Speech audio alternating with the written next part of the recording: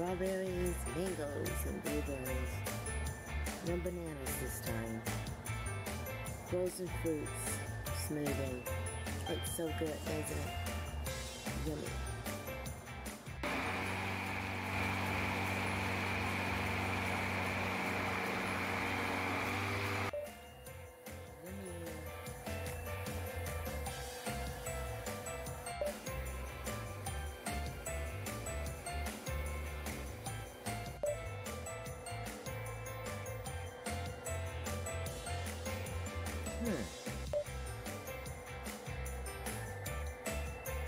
Thanks for watching the video, guys. Have a wonderful day.